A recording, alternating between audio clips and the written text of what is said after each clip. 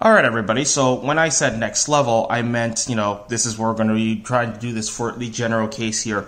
Note that we have our points x1, y1, x2, y2 here, and we're going to divide this segment into a p to q ratio. So this is going to be, you know, just giving you fair warning at the beginning here. This is going to be very heavily algebra based, so hold on to your hats. All right, so, you know, we take some inspiration from what came before. We're going to go ahead and sketch ourselves our triangles just like before, right?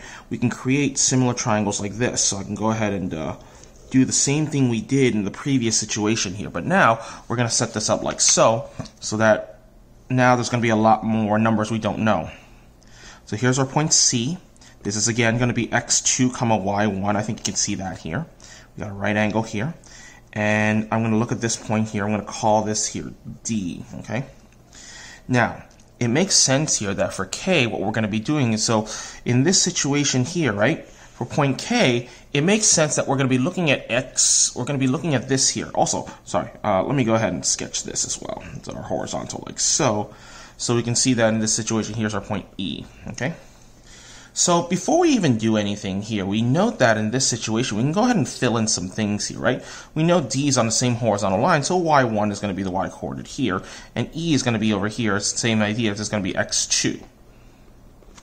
Okay, now knowing what's going on here, it makes sense that point K is going to be point A, and then we're going to add AD and DK here. We're going to go to the right AD, uh, the distance AD, we're going to go up the distance DK here. So that means it makes sense here that this is going to be x1 plus AD, comma, y1 plus dk. I don't know what those are, but once I do find expressions for AD and dk, then I can add them to this and then we're going to be in good shape here. Okay, so again, we're going to note here that we have ourselves similar triangles. Yet again, we know that in this situation we have AKD here. This triangle should be similar to the big triangle here, ABC, and again, you can see because we have two right triangles, they share this angle over here. It makes sense that these are going to be similar to one another. Okay? Now, note that the scale factor here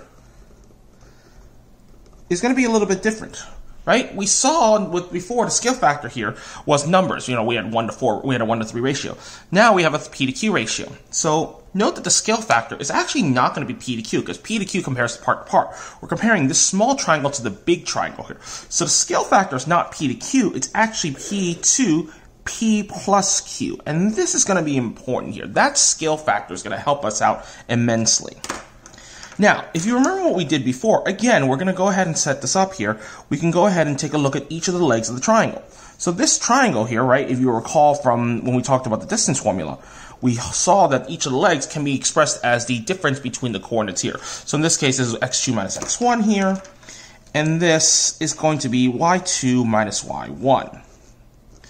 Okay, now, again, noting the scale factor of this here, we can now start to figure out what AD is. So if we go to our picture here, we can go ahead and write this out. We know AD here is going to be equal to, well, notice that AD here, this PAK was P over P plus Q of AB. So by you know the correspondence of these sides here, AD will be that same scale factor of AC here. So in this situation, we can say that AD is going to be P over P plus Q times the scale times AC here. So I can rewrite this as P over P plus Q times x2 minus x1. Okay? So that's going to be the length of AD here. And that we're going to add to x1 here when we finish up. By the same token, we can do the same thing here for KD here, right? KD, notice that KD, I'm going to do this, uh, notice that here we have a rectangle DKEC here, so KD is going to be equal to EC. That's pretty easy. And again, it's going to be the same idea. This KD here is P over P plus Q of the entire triangle. So it's going to be P over P plus Q times, in this case, BC, which is P over P plus Q times Y2 minus Y1. Okay? So, Note the picture is actually already taken. We've already done a lot with the picture already here, in fact, right? We have this. Now, technically, I can go ahead and write this out here. I can write this, I can write this here, but I'm going to leave it like that because if you think about what's going on here, we're going to have to add this to, so basically, this x1 plus AD here, I have to add this to x1. The y coordinate here, I have to add y1 to this quantity here. So now, that means the location of point K. So, this is where the algebra comes in. The location of point K. Remember, this is the location of K. This is going to be the following here. It's going to be, make sure I got this here. There's going to be x1 plus AD, which is P over P plus Q times x2 minus x1, comma, and then we do the same thing. It's going to be y1 plus P over P plus Q times y2 minus y1. Okay, so now the idea is let's simplify this. Let's try to make this a little easier to see. So what I'm going to do here is I'm going to take a look at this. So now we have, okay, so this x1. This here, I can distribute this to each term. So this is going to be px2 over p plus q. And I can do the same thing here. There's going to be a minus px1 over p plus q here, right? We're just distributing this quantity here. And this is going to be comma. In this case, we do the same thing here. y1 plus, again, py2 over p plus q minus py1 over p plus q here. Okay, so I got rid of one set of parentheses here, but this still doesn't look very good. Uh, we note that everything here has a p plus q denominator, but this y1 and x1 doesn't. So we might as well take care of that. Note that the coefficients of x1 and y1 are 1, and that's just p plus q over p plus q. So I can write this as p plus q times x1 all over p plus q plus, again, the other stuff. Now, if you're particularly sharp with your uh, algebra here, I think you're going to see what happens next. But if you're not, that's okay. Same thing's going to happen here. We're going to have p plus q times y1 all over p plus q. And again, we're just doing this here because p plus q over p plus q is 1, and that's the coefficient of these terms.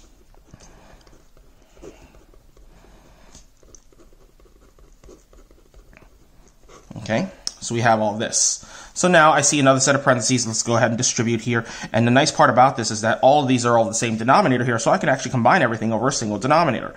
So our single denominator is going to be p equals q here. So now I can distribute this. This is going to be px1 plus qx1 plus px2 minus px1. So I have four terms here, all over p plus q. The same is going to occur here as well. We're going to have p plus q in the denominator, and we're going to distribute everything again. So it's going to be py1 plus qy1 plus py2 minus py1. And now we can see that a lot of simplification, a good chunk of simplification will occur. We see there's a px1 and a minus px1, these vanish. And we see there's a py1 and a minus py1, those vanish as well. And we're actually left with something that looks relatively nice.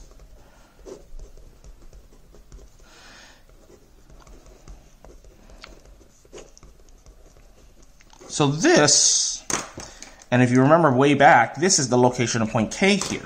So we now have a nice little way of determining the location of point K based on the information here. So that actually tells us something very important here, right? We actually just derived this. And as a result, we now have this here. So we've just shown our derivation that the location of a point K that divides a segment with endpoints A, X1, Y1, and B, X2, Y2, such that AK to KB is P to Q.